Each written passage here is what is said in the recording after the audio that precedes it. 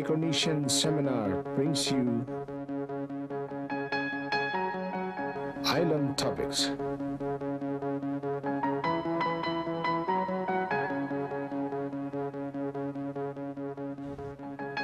Come with me on a journey to the paradise of the Micronesian islands, where beautiful white sandy beaches sparkle like diamonds, where emerald ocean swells and crashes majestically against rainbow coral reefs, where flowers of every shape, color, and smell display their earthenwares, where bare-chested loincloth islanders leisurely strolled under shaded everglades. Let yourself go and experience the serenity of this idyllic lifestyle. Sit back and relax. Let a fragrant breeze, the ocean waves, calm your weary soul. Bring out the sakau, the tuba, the beer, and the liquor. Bring out the foods, the women, the ukuleles, and guitars. Sing, drink, be merry. Welcome to our paradise islands. Come, come closer. Listen, what do you hear? Look, what do you see?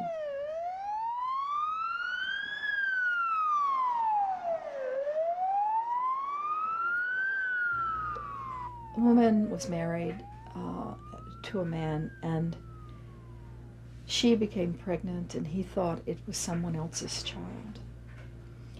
And so he was so resentful and so angry that when he would come home from work, he would abuse her and he would hit her in the stomach and he would knock her off the, the chair into the floor and then rub her face in whatever food that she was preparing, if it was rice or whatever.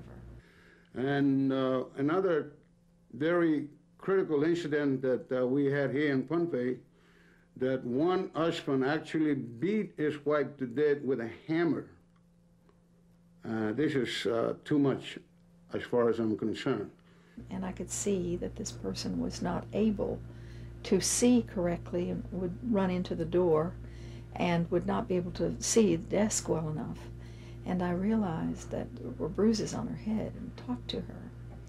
She told me that she was being hit on the head by her husband repeatedly with an object. It looked like a stick, not as big as a bat. But he would hit her.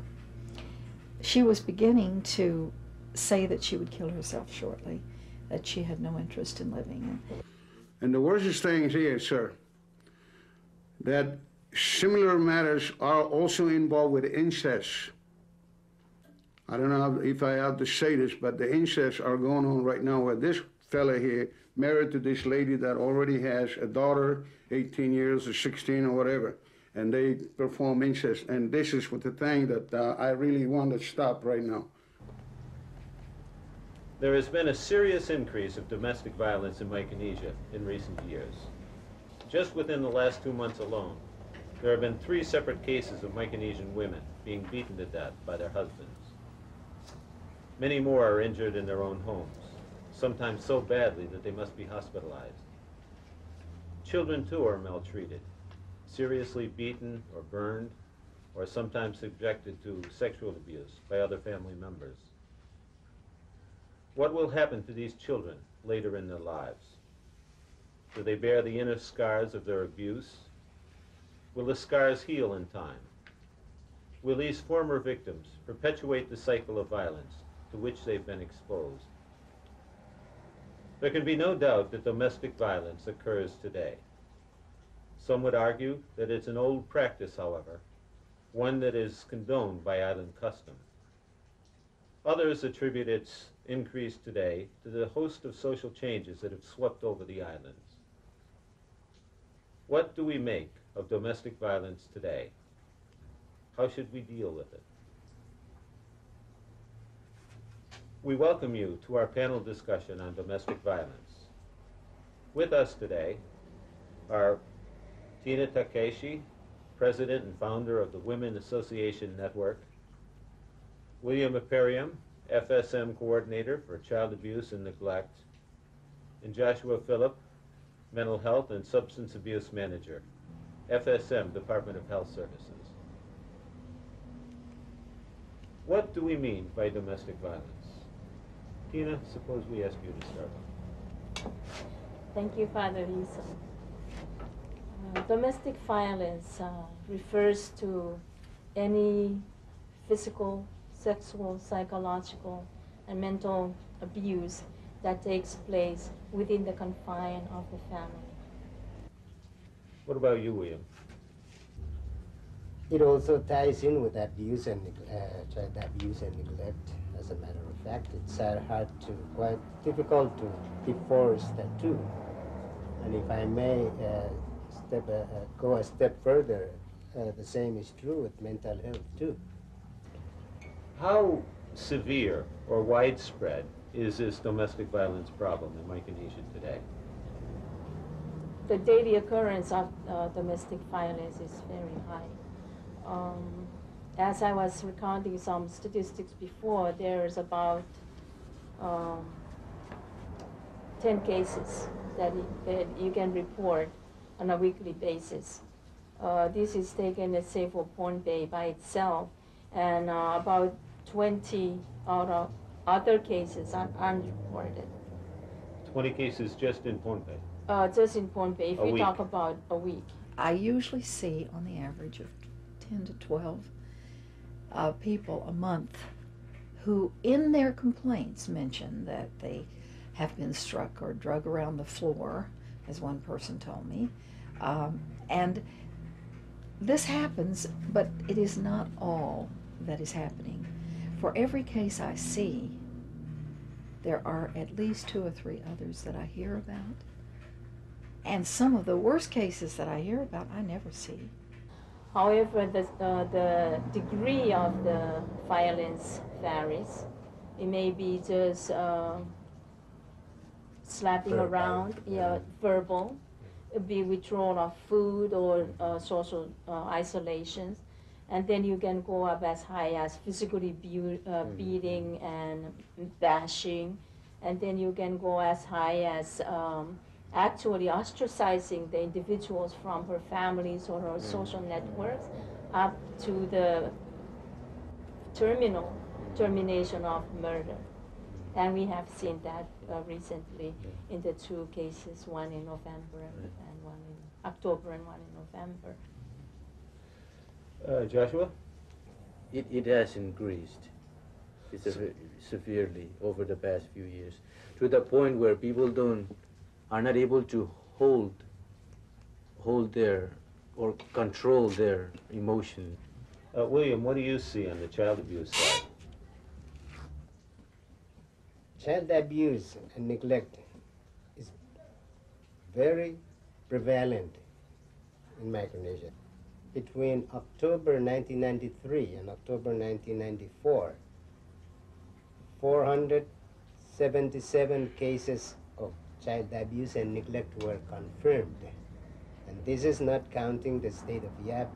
There are really four reasons, uh, many, many reasons, but four major reasons why domestic violence occurs. One is the need for control or power. Another is the tremendous stress that some people uh, uh, in, in their jobs, uh, in their family relationships that some men have. And then um, it is a learned behavior. Many people who abuse their wives or other people learn to do so by watching their own family members do it and learn that this is the way you handle a situation.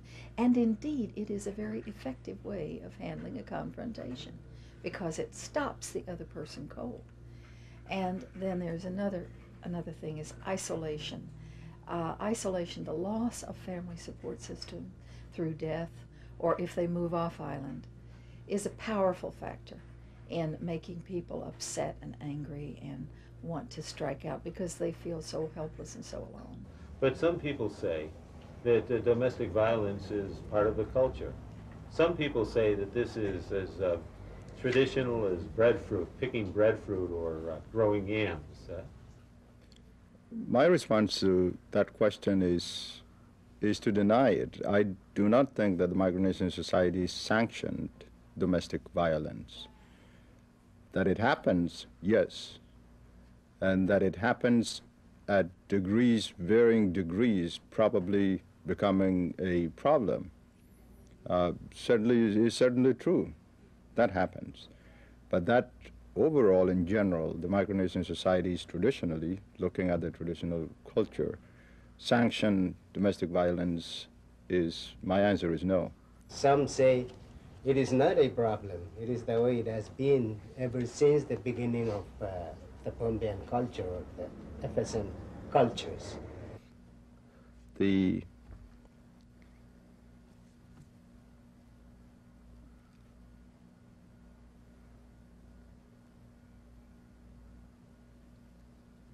inequality of male and female, for example.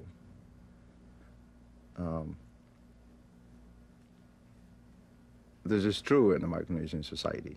I suppose we should face the reality that there is a certain degree of inequality uh, between man and woman.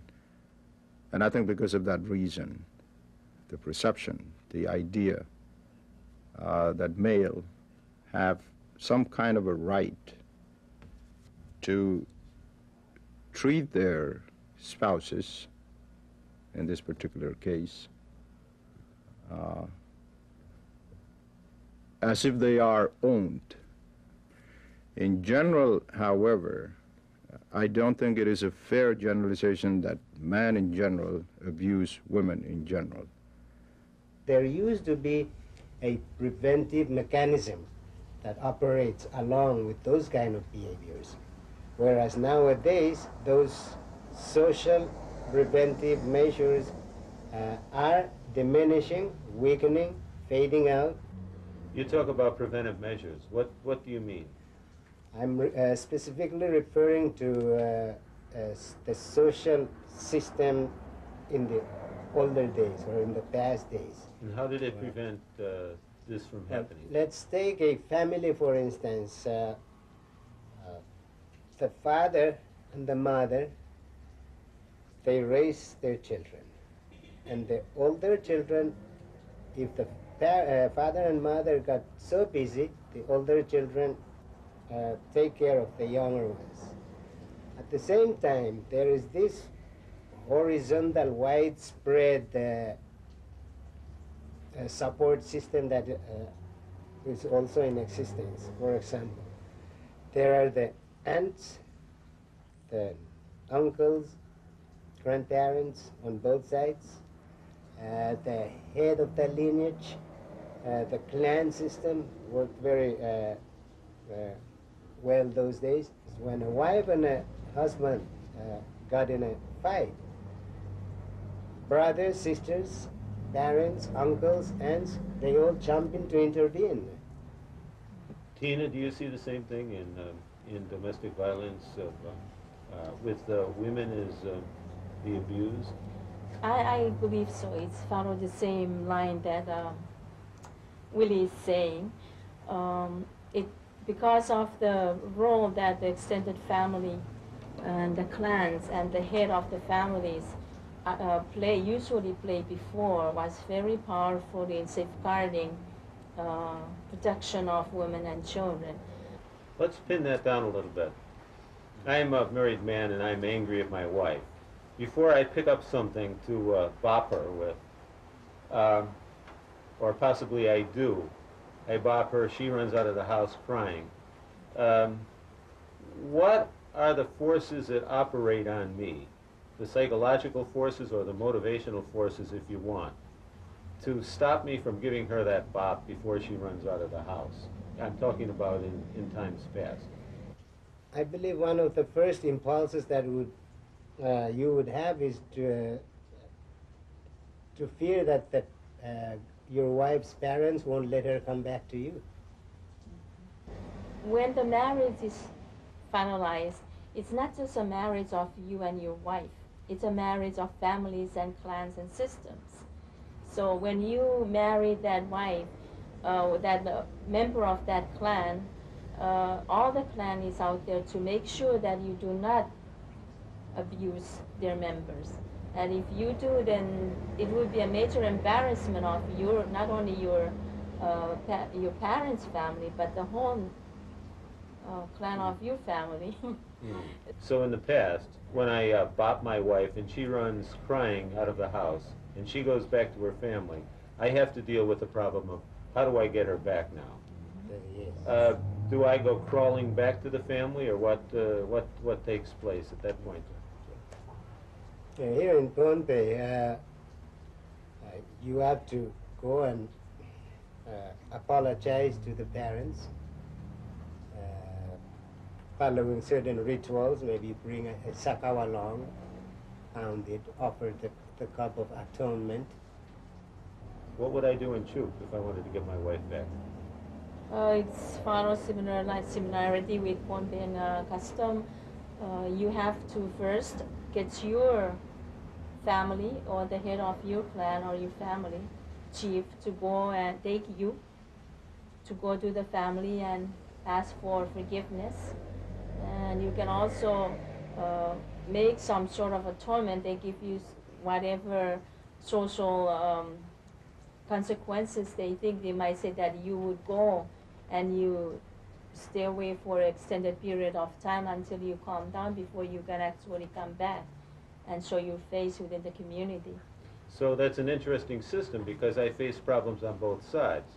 I have to go and ask somebody in my own family, please come with me as I uh, as we humble ourselves before the or represent me as we humble ourselves before the family of, of my wife. And then I have to wait the outcome there to find out what uh, my wife's family And right say. there is the defense mechanism. Uh, uh, you have to think twice before you pop your wife because you have to think about approaching the elder members of your family to help you go and uh, request the return of your wife. I see what you mean. That's a formidable task to do, a humbling one, and, and something that would cause persons to, uh, to think twice before they did uh, do something to their wives. If I could just interject here also that, that you can only do that once or twice. But once it goes beyond beyond that, uh, you pop your wife or my sister or whatever, my uh, brothers and my clan men will come and pop you. okay. So we have got, we've got not only the humiliation and the shame and everything, but, uh, but the fear, Yeah, you physical fear, popped. yes. Joshua, you, were- you were going to say something before, weren't you? long ago. I don't think none of this happened like you said because because of the cultural uh, system really intact. None of the little violence occurred if there was in the past, but now it's it's happening more because of the breakdown of this uh, natural helping system, so to speak. Well, it seems from what you're saying that the protection was embedded in this, um, shall we say, extended family system in the, in the past. The extended family system that we've seen in every part of Micronesia. Now, today, as you put it, uh, we're without those uh, protections or defense mechanisms. Uh, the, the family system, the family system which, which did intervene to help protect the, uh, the wife and children isn't there anymore. Basically, it's true that we, uh, in olden days, we have all those uh, traditional uh, extended family social services protection that we were alluded to earlier, but also because of the rapid modernization and all the fast economic uh, developments and the push to be recognized by the outside world and to be accepted as a nation uh, seeking unity and seeking its place in the outside world. In that uh, thrust to push forward, we have embraced uh, certain changes. Tina mentioned dollar, and I caught on to that because I think it's uh, the dollar is the key problem here. Right, uh, in the old days, where people live mainly on subsistence economy, uh, it is easy for a big family or a clan or a lineage to share their lives together. But I have this old theory that, uh, that the changes, to follow up on something you said, these changes were not deliberate at all. These changes were unintentional, but they were structural. They were Yes. structural, meaning that they, they didn't come from a change in values or attitudes on the part of people, but they came through uh, a new system. Uh, a new system that was, uh, that was being grafted on society in place of the old system, in place of the old land-based, uh, you know, kin-oriented uh, system. And so what we have now, what we have now is, uh, is a society, or at least a lineage system, a clan system, a, a, a social system that's very much fragmented. Do you see any way of slowing down the changes? Uh, I think that it would be difficult to slow down, but I think we should uh, take time to sit back and critically analyze what we are getting into. And uh, one of the ways we are doing that, I, I think, is by focusing on the social manifestations that are happening today. Suicide, for example, increasing alcohol abuse and substance abuse, this increasing in domestic violence, particularly in this severity of this uh, violence perpetrated against the weaker member of the society and the children. When we look at our society, just look at our island nations. We're a very small, isolated community. And for many years, we just sailed among ourselves. And when we meet our own island people, we, our cultures are almost the same, island people.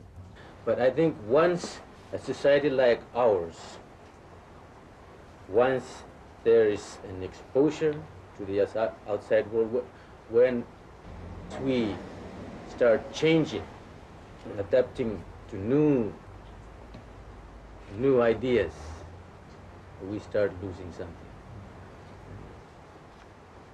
Beatings seem to be an outpouring of male anger, sometimes even rage, uh, against the weaker members of the family.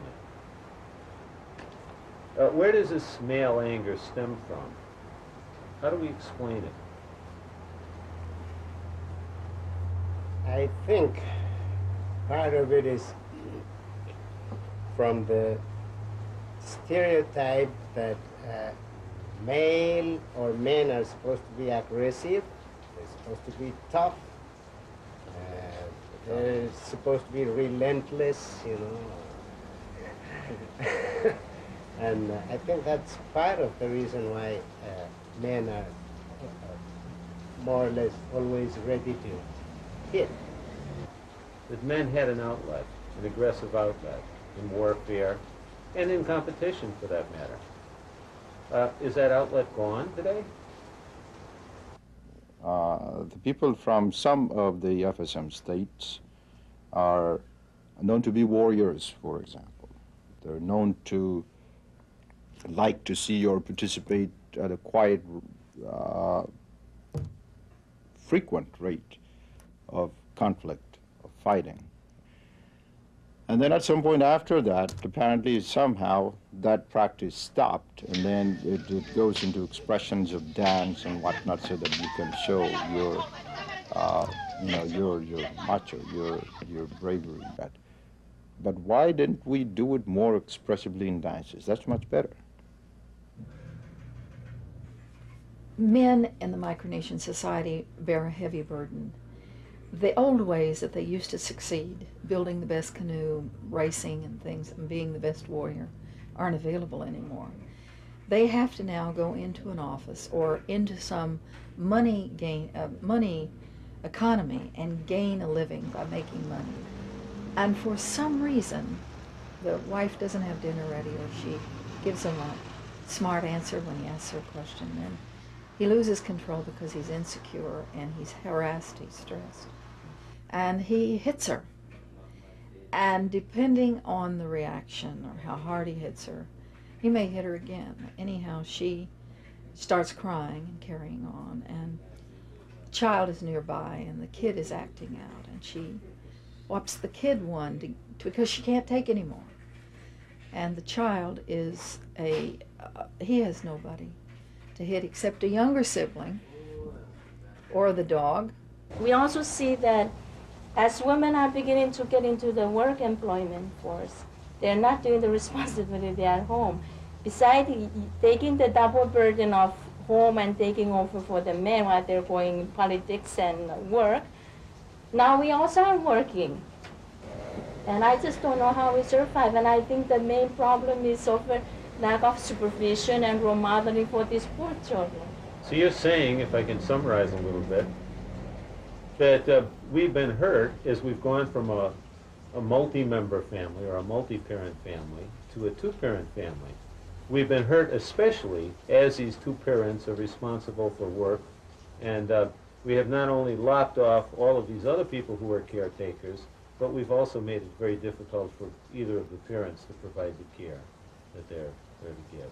Yeah, I think so because of the geographical mobility, you know, your own sense of material possessions and getting yourself to get up on a social and economic uh, prestige and stuff. I remember um, Innocentio she was telling me a story once of uh, a story of something that happened in, in his island. Um, he said a baseball team was walking off the field. Uh, a fellow, the third baseman on the team, walked off angry at his other teammates who made several errors and who lost the game.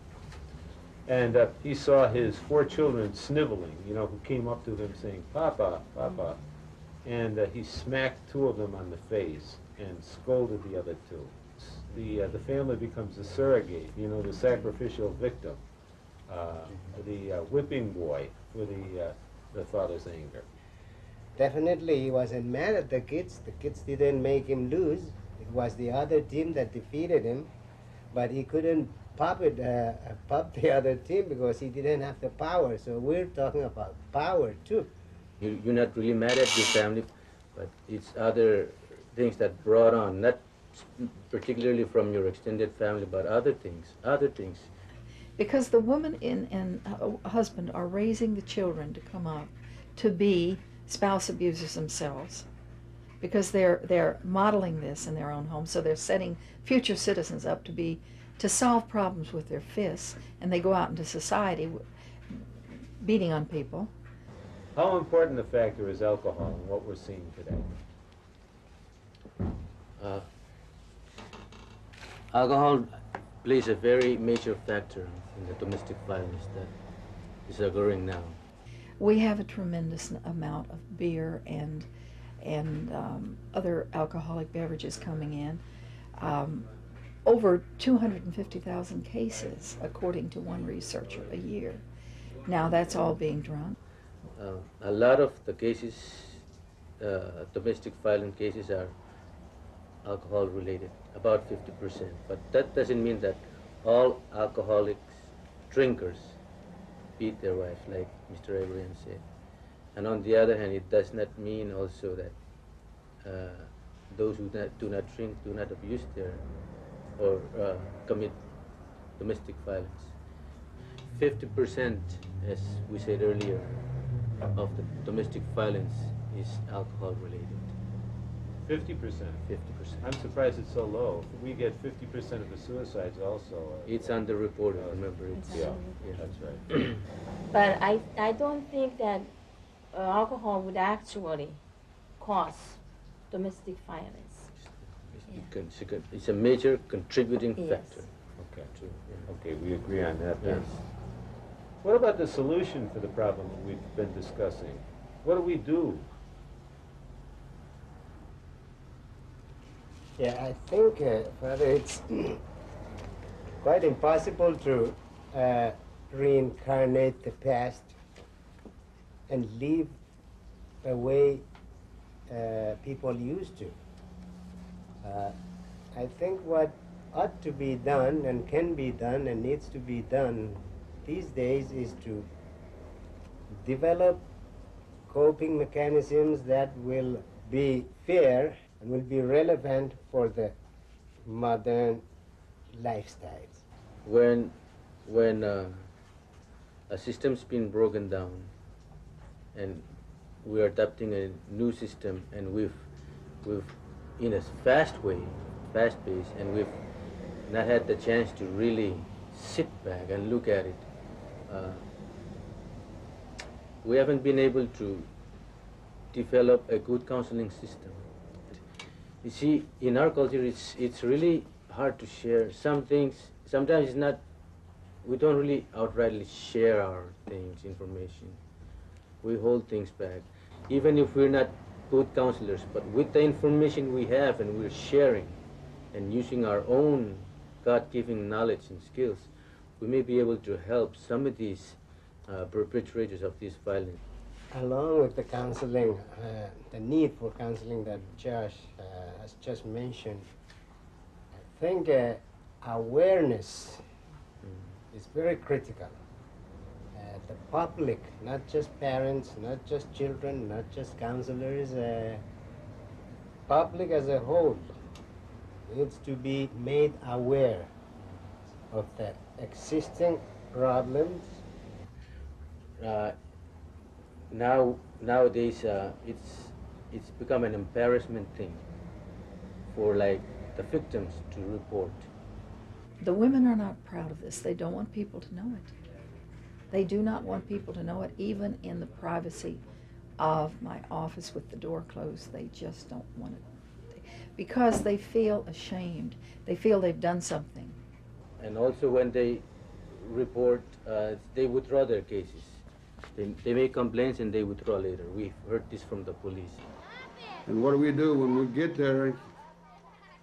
Try to make the arrest, or even sometimes we make the arrest, and the wives they come up and withdraw the case. So therefore, these incidences are continuously happening because uh, the husband is taking advantage of uh, the law and uh, even their families. They beat them up. Next day, they come and withdraw the cases. I think we need to encourage these victims, whoever they are, to really file that complaint. Go, with, go through that motion. there is uh, a disincentive for women to bring charges against their husbands when they're abused. There's an economic disincentive. There is a psychological disincentive. And, and there may be a cultural disincentive. Many times, when we get there, no statements. The wife cannot make a statement because she's afraid of the husband. And if they do so, uh, place a complaint, the next day they withdraw the complaint because they know when the husband come out of the jail, he's gonna, she's gonna get beaten up again. Because these perpetrators need to be responsible for their own actions. The court should be is somewhat leniency because what we're doing right now is that we don't have a complainant, and then the cases will withdrawn and thrown away. Got to have somebody to file a complaint. And if these victims continue to not report and not speak out, it is encouraging the perpetrators to continue. Yes, uh, I do agree that the victims need to be serious about uh, taking action. Uh, along with that, I personally believe that the perpetrators need a lot of education too. Mhm. They need to be counseled, made aware of the consequences of the, their behavior, whether it's beating up the wife or beating up the children or issuing out punishments, what those kind of actions are doing to the rest of the members of the family emotionally, physically, developmentally. Abusers do suffer as well. They suffer loss of self esteem. They suffer depression we, when they realize what they've done. And they wake up, and very often they can look at their wife and see what they've done because they can see the bruises. And then they feel they feel ashamed. So the abusers suffer as well as the spouses who suffer physically, emotionally. We don't necessarily have to throw them in the cell right away. Uh, I, uh, I believe in uh, also helping them within the home before I throw them in jail. But, see, we've come from a system that's done more than just preach virtue. The system has made it difficult for people to do bad things to their wives and children, for reasons that we've discussed. It's embarrassing, difficult, and uh, even physically dangerous for a man, or it was, for him to uh, beat on his wife and children in the past. Today, what do we have to, uh, besides preaching virtue, uh, to prevent people from doing the quickest, easiest thing, to uh, let their anger gush? So who do we have now? We have surrogate families. We have we have women's groups that are forming. Women's groups are just new to me in the islands. I've been here six years, but I the last two years have been the years that I've seen women's groups forming. I, I firmly believe that what Joshua said about creating, establishing a system that would take the place of that extended family system, uh, I also agree with the public education. But I also, along with, with those two recommendations, I also, first of all, for the nation to recognize domestic violence as a problem. And then finally, um, there's legal assistance, legal aid. If the situation gets to the point where a lawyer needs to be called in, there is free legal advice on this island for women. If there is within a culture an attitude of respect for individuals, then that culture will do, or that society will do what's necessary um, to promote that respect and to ensure protection. And I think that it's necessary for individuals to have a clear understanding of what their culture and their tradition uh, holds as principles. I, I would be interested to see those perpetrators, who they are, whether they go to church, and how often they go to church. Because I think God never meant for a man or a husband to abuse his wife and children. If anything, it's just on the contrary. There is to help, nurture them, develop them, and they sh- they're, they're to work together, help each other. And this basic principle is, is, is a godly principle that we need to remind ourselves. And in order to be able to remind it of that, we should go to church. We should go to church. You stole my thunder. You, uh, uh, I want to ask one more question. Will new legislation help? What about the uh, legal system? Will that help? Punish him hard. That's it. Um, it is within the state's prerogative uh, to bring charges whenever there is um, assault, battery, or uh, a homicide. Um, however, if those individuals who have personal knowledge of the incident um, refuse to cooperate, then that is going to affect the state's case. Question is, does there need to be more specificity to the law in order to protect women? Most of the time, when people uh, hear the word law, right away they think about jail, court and jail. Some lawmakers themselves are hesitant, reluctant, and unwilling to uh, sponsor such laws, claiming that uh, such law will put a lot of parents in jail. Certainly, penalties such as um, incarceration, jailing, are not necessarily going to be uh, going to solve the problem. That may do nothing but further fracture the tenuous family ties um, and and ultimately destroy the family. Well, the, our aim for having the law is definitely not to put people in jail, but to have something to work from and to have protection for the children, the, the family as a whole. Uh, it's for prevention, not for uh, conviction of criminals. Okay, so the, the law is an He's- instructor. He's an instructor, and it's a necessary thing to have. Uh, thank you, Tina, William, uh, Joshua, for joining us today for our panel discussion. We invite our viewers to be with us next month as we take up in Island Topics healthcare in Micronesia. Thank you. Thank you. Thank you.